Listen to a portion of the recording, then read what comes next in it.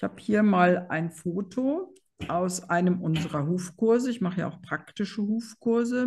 Den äh, Termin für den nächsten werde ich im Übrigen in der nächsten Woche auf der Seite einstellen, mir dann auch erlauben, das in der Facebook-Gruppe zu posten. Wer also den Online-Hufkurs ähm, gebucht hatte, kann als Upgrade dann auch zwei Tage Praxis machen. Das wird in der Nähe von Limburg an der Lahn, also nicht weit von Frankfurt am Main stattfinden.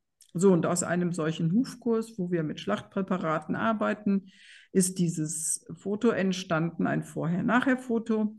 Links, ja, schlimmste doppelte Sohle, der komplette Huf überwuchert mit äh, dickem, fetten Horn. Wir gucken uns noch an, wo das herkommt. Und auf der rechten Seite dann, nachdem eine Teilnehmerin des Hufkurses ähm, nach Anleitung das Ganze bearbeitet hatte. Und das sieht ja nicht mehr aus wie derselbe Huf. Haben wir hier auch ganz, ganz, ganz viele Nerveneindickungen. Und ihr könnt euch vorstellen, wenn da dann so ein dicker Hornklumpen jetzt drunter ist, das wäre also hier irgendwo in diesem Bereich geht das dann los. Ja, und wenn die Sohle komplett doppelt ist, dann habt ihr hier drunter, als wenn das Pferd auf einem hufgroßen, dicken, fetten Kiesel oder Schotterstein laufen würde. So, hier ist mein Bild von einem beschlagenen Pferd. Dieses Pferd hat nämlich nicht Steine im Huf, sondern das sind überwucherte Eckstreben und auch zwei Generationen. Ja, das ist jetzt die jüngste Generation, das ist die Gletscherzunge obendrauf und das ist schon über eine noch alte Gletscherzunge, also Eckstrebenzunge, die bis hierhin reicht, nochmal drüber gewuchert. Und auch diese beiden Plocken hier, das und das ist eigentlich mal Eckstrebenhorn gewesen.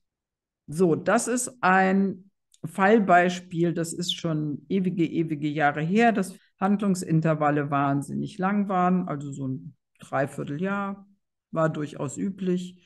Also als ich kam und den Huf in diesem Zustand vorgefunden habe, war ein Dreivierteljahr niemand mehr an den Hufen gewesen.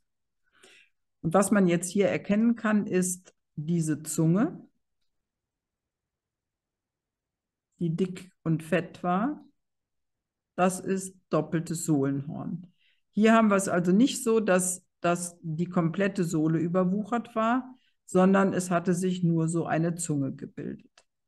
Aber weil diese Stute dann zusätzlich auch noch Arthrose hatte äh, und nur auf ganz, ganz, ganz weichem Boden laufen durfte, hatten die Wände auch keinen Abrieb mehr. Vorne war schon ein riesiges Stück ausgebrochen, weil sonst die Zehenwand unendlich lang gewesen wäre.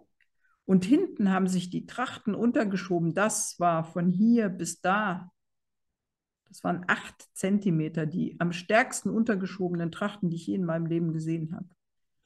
So, das ist jetzt ein Fall aus meiner momentanen Coaching-Betreuung. Ein Pferd, das ich schon seit ein paar Jahren kenne. Das lebt in Norwegen, ist ein deutsches äh, Reitpony.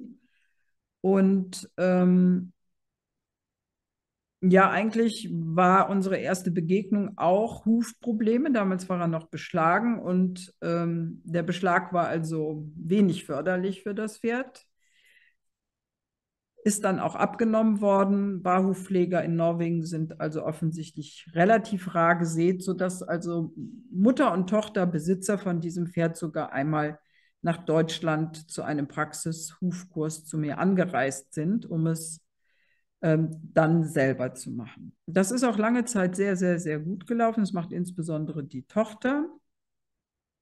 So, bis dann äh, der Stall gewechselt wurde, dann auch eine neue Tierärztin da war, die gesagt hat, dass ähm, doppeltes Sohlenhorn die Sohle schützt und dass die Tochter doch bitte aufhören sollte, die Eckstreben immer wieder aufzustellen, sondern dieses Überwuchern zuzulassen. So, ich bin da immer nur mal punktuell in der Betreuung von diesem Pferd im Prinzip immer dann, wenn es was hat. Dann ist, ist manchmal ein Jahr kein Kontakt, mal Monate nicht kein, äh, kein Kontakt. Und jetzt im Moment war es eben wieder sehr dramatisch. Er lahmt und lahmt und lahmt.